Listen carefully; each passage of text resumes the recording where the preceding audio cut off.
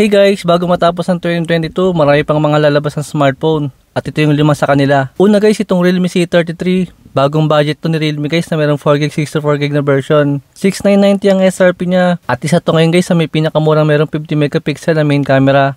Unisoc T612 yung kanyang CPU na merong standard lang na 6Hz na refresh rate. Design guys yung na-update sa kanya dito sa may Realme C33. Dahil naka-backstep na design na siya. Katulad guys ng mga nauuso ngayon ng mga smartphone na lumalabas ngayon. Ang nakakapagtaka dito guys is para sa 7,000 na SRP niya is naka micro USB pa rin siya. Pero kung hindi ka na makapaghintay dito at gusto mo ng Realme, mas okay dito guys ang Realme C25Y ngayon dahil super discounted na siya. Makakabili ka nito guys ng kulang 6,000 lang ngayon sa may online. Mas malakas guys ang CPU ng C25Y sa may Realme C33 dahil naka Unisoc T616 siya ng CPU at mas mataas pa guys yung charger niya. Next guys itong Oppo A17 wala pa siyang official price. Naka 4GB, 64GB din siya. Na merong Helio G35 na CPU. Suspecha ko dito guys, 7990 ang SRP niya. Dahil ganun din guys yung presyo ng Oppo A16 sa may 4GB, 64GB. Kaso lang guys, still naka G35 pa rin siya. Parehas lang guys ng Oppo A16 last year. Naka third drop notch na design siya. At least guys, buti naka 50 megapixel na main camera na siya. Halos sawig siya guys ang forma ng camera ng Vivo Y16 ngayon. Itong Oppo A17. Di na ako guys magtataka dahil sister company lang naman sila.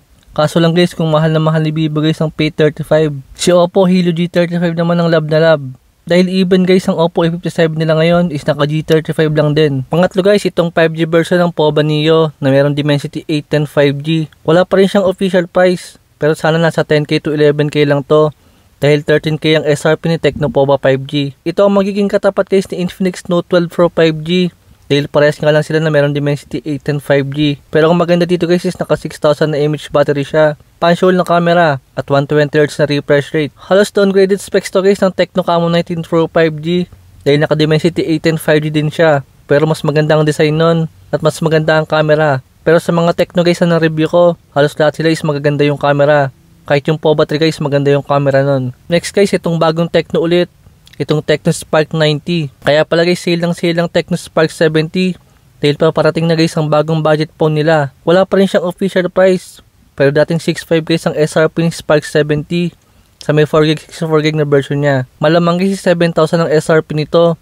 Dahil hawig na siya guys ng design ng Camo 19 series na mayroong backstep na design, pabilog na camera module. Kaso lang guys, Helio G37 lang siya. Halos pares pa rin sila guys ng CPU ng Tecno Spark 70 Buti pa guys ang Tecno Spark HC.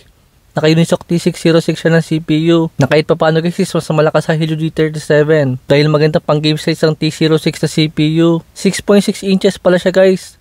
Nabuti is naka 9 Hz na refresh rate na.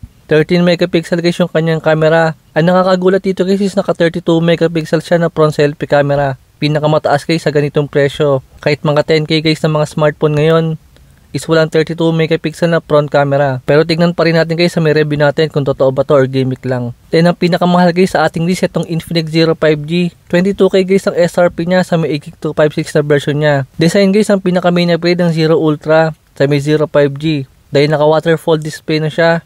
Katulad guys ng mga Samsung phone na naka-curve display. Ingat-ingat lang din guys dahil mabilis na mabasag yung ganitong display. I think guys 40 to 22k na SRP niya.